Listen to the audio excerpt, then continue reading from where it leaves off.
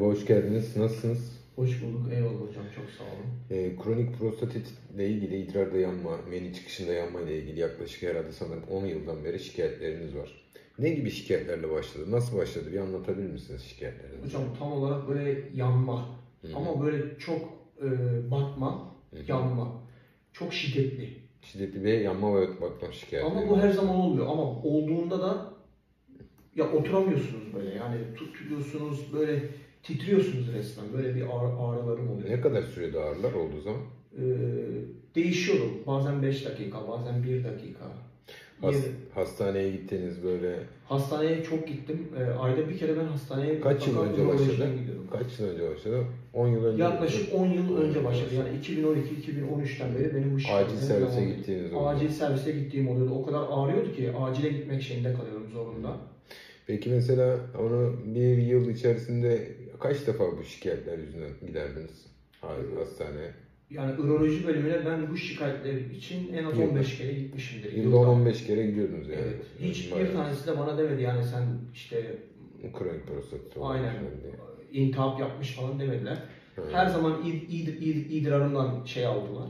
Örnek tahlil aldılar, yaptılar, idrar- evet. İdrar kültürü aldılar, idrar tahlili aldılar. Aynen. Dediler işte Ultrasonlar yapıldı. Ultrasonlarda yapıldı. Hiçbiri bana böyle bir şey söylemedi. Sadece intihabım var biraz dediler. Hap yazdılar. Ya da i, i, i- 6 tane antibiyotik yazar iğne.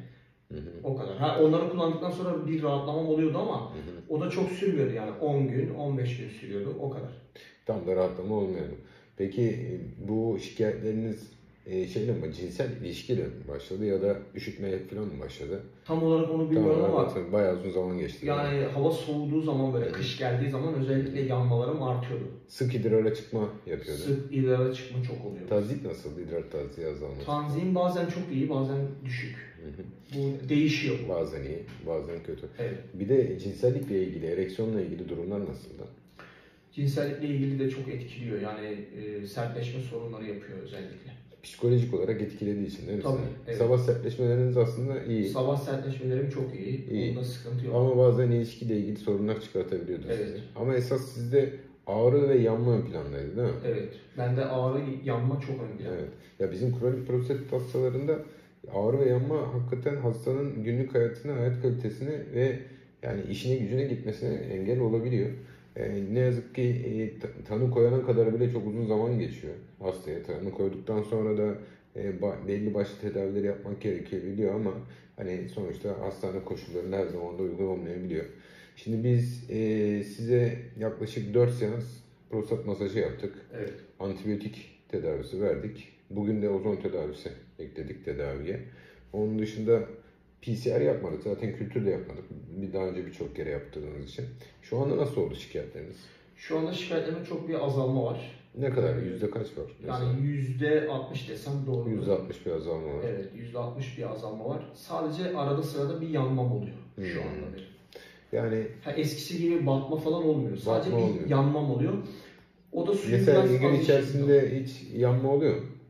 Yok. Gün içerisinde bazı günler oluyor. Yani Ama önceden her gün vardı değil mi? Tabii her her gün hemen hemen vardı. Her gün her gün yanma, yanma vardı. Şu an her gün yanma olmuyor. Evet. Haftada kaça düştü yanma? Şu an haftada 2'ye 3'e düştü. boşalırsanız Evet. yanma oluyor. E, Bir de ilk geldiğinizde size şey yapmıştık. e, mikroskop altında e, lokosit sayımı yapmıştık. E, yani o zaman şu ana kadar prostat masajı etkili oldu mu peki? Prostat masajı. Prostat masajının çok faydasını gördüm. Gördün değil mi Evet. prostat masajını? Prostat yani? masajının çok faydasını gördüm. Çünkü senin prostat masajın ilk prostat masajı çok ağırlı oldu. Çok prostat masajında ilk yaptığınızda hocam zaten yerimde şey yapamadım yani. Değil mi? Çok ağırdı. Bir de sert yani böyle Sert, aynen. şey yaptığınızda çok büyük bir ağrı yani dokunduğunuzda Aynen prostat Çok masajında büyük çok fayda gördüm. Bir de ilk seans çok ağırlıydı. Şimdi mesela dördüncü seansı yaptık. Daha dört seans yaptık toplam zaten. Çok da yapmadık. Ee, şeyde ciddi bir azalma oldu değil mi? Prostatla ilgili şeyde Oldu ciddi hocam. bir azalma oldu. Çünkü zaten ilk masajda prostat çok sertti. Ödemliydi. Şu anda mesela prostat oldukça yumuşak ve ağrısız bir hale geldi. Ee, o prostat masajının faydasına inanıyorum gerçekten. Hastalar çünkü me- memnun kalıyor prostat masajından. Şimdi e, şey de yok. İdrar tahlilleri hep temiz geliyor. Ama prostat iltihaplı. İdrar mikroskopisine baktığımız zaman prostat sıvısına baktığımız zaman prostat sıvısının oldukça lökosit sayısının yüksek olduğunu gördük. Şu anda Biz nöral terapi yapmadık sana ama sadece şeye odaklandık. Biz enfeksiyona odaklandık. Ozon tedavisinde tabii ilkinde biraz ağrı olabiliyor. Ozon tedavisinde de bugün mesela e, küçük ince bir hortumdan e, penisten bir e, sonda taktık ve oradan yaklaşık 120 cc civarında ozon gazı verdik. Ozon gazı bir o bölgede antiinflamatuar ve antibakteriyel etki gösteriyor. Oradaki mikropları öldürüyor.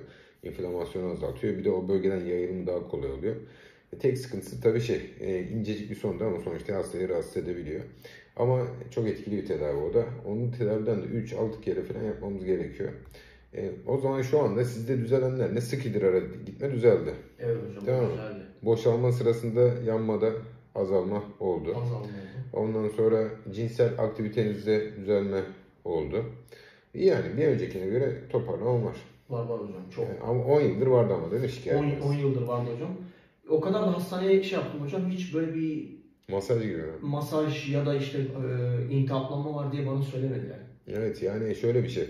Hani doktor değiştirdikçe doktorun odaklanması da zorlanıyor, zorlanıyor ama yani kronik prostatit hep ben diyorum yani mesela yani çok yoğun olan yok çok yoğun çalışan çalışılan ünitülerde e, tedavi verme alması zor hastanın. Çok yani hastayla özel birebir ilgilenmek gerekiyor kronik prostatit hastalarında. Yani erektil fonksiyonları sertleşme sorunu zayıfsa oraya yönlenmek gerekiyor. Ağrıysa oraya sık idrara gitmeyse mesela biz botoks tedavisi yapabiliyoruz. Mesaneye botoks tedavisi.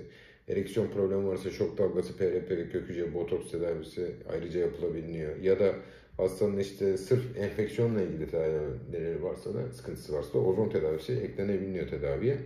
İyi yani 10 yıldır şikayetleriniz olmasına ve rahatlamanıza çok sevindim. Çok sağ olun hocam. Rica ederim, rica ederim. Geçmiş olsun. Sağ olun Sağ olun. hocam.